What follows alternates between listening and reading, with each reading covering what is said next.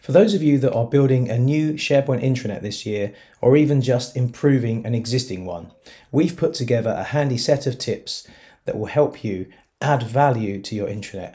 And it's based on best practice, but also our many years of experience in delivering intranets. From branding to navigation, page templates, and even governance, we hope that the following pointers will help you to increase engagement and level up the usability and utility of your digital workplace.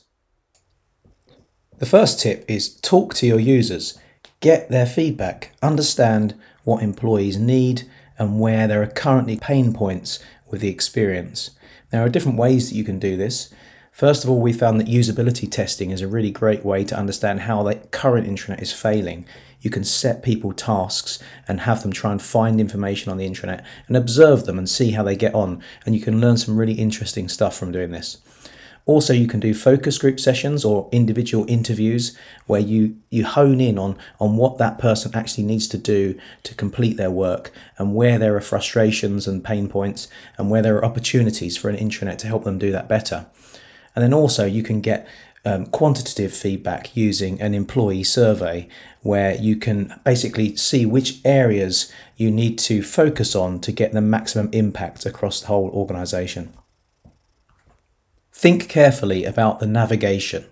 How can you better help people find what they need? Navigation is a tricky thing to get right. You can follow some sort of best practice tips by not doing things like using complex acronyms and use plain language that anyone who just started yesterday in the business can understand.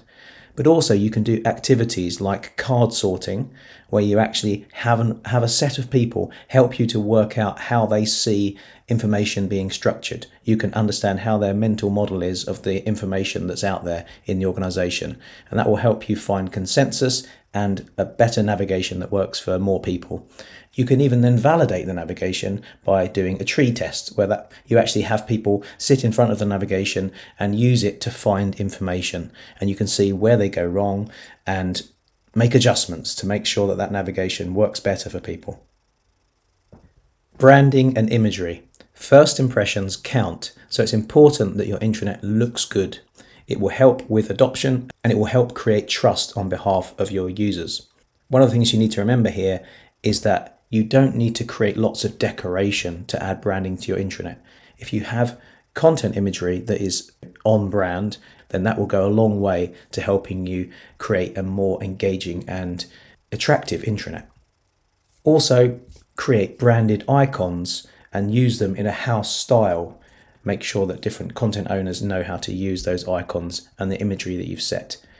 If you want to take this further, you can use something like Lightspeed's brand customizer, where you can inject custom company fonts and have much more control over the color palette that is applied to your intranet.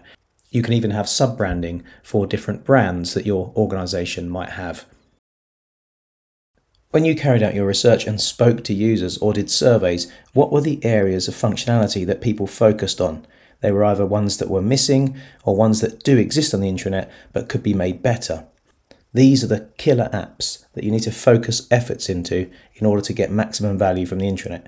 It could be making sure that people can find the right apps and services to do to complete tasks that they need to as part of their work. It could be that you need to provide policy information. It could be that you need to provide a people directory that's fully searchable. Or it could be that you need to provide something like an LMS uh, via your intranet. These are the kinds of things that you can hone in on and focus your energy. Don't spend time or money on things that will have little utility. A common problem with intranets is that they present information in so many different ways that it overwhelms the employees and they have to think very hard every time they land on a page about where the information they're seeking actually is. The way to combat this is to make sure that you have very tightly controlled and consistent templates for presenting certain information for certain use cases. These can vary from things like triage pages, where somebody lands on a page about a particular topic, and then you're looking to direct them to the correct subtopic for the detailed information they're seeking or it could be a guidance page that has multiple steps and you need to present that in a very easily understandable and digestible format. It could be an initiative or campaign page, which is about providing overview information as well as latest news, assets, and even conversations. Also, there are things like department and business unit landing pages. If every business unit has a different style and way of presenting information, this can be very confusing for users. Search is often overlooked as part of a new intranet project, and that's traditionally because people assume employees won't search the intranet because they're used to poor search tools in the past. that's partly true, but it needn't be the case anymore. The search tools are much better these days. Uh, we'd advise focusing on three particular areas with regard to search. Firstly, provide where possible contextual search tools that allow people to search on a smaller area of the content. This allows them to browse first of all to a certain point and then search the remaining small body of content. Secondly, create verticals and additional filters on the main search experience so that again people can reduce the scope of their search to a particular type of content like news. Lastly, people aren't great searchers typically, naturally. Give them some help with some tips um, and ideally provide these in context. This will help them get more out of search because they'll better understand how it truly works. Don't underestimate the work needed to produce and maintain high quality content for your intranet, from news posts to how do I guides and so on. You can't do it alone. Make sure that you establish a network of content owners and make sure there's a process in place to ensure that content is reviewed and reapproved regularly. And if it doesn't happen, then it expires and is removed from view, including from search results.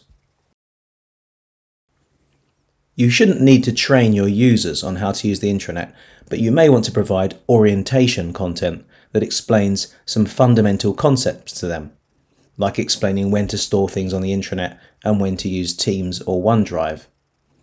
Content owners will need to be trained on not only how to use SharePoint, but also in how to use the intranet in the way that you have deemed will best support your employees.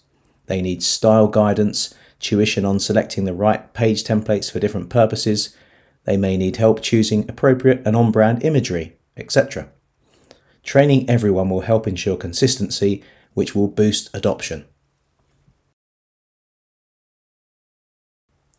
You need to have a governance plan for how the intranet will be managed. Who will have permission to do what? Who will be able to grant and remove access? Who is responsible for content? Who is responsible for liaising with Microsoft on technical issues?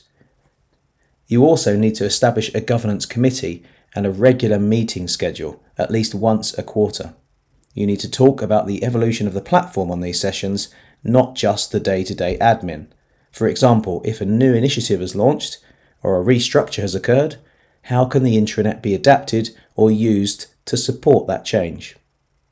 I hope those tips will help you improve your SharePoint intranet this year.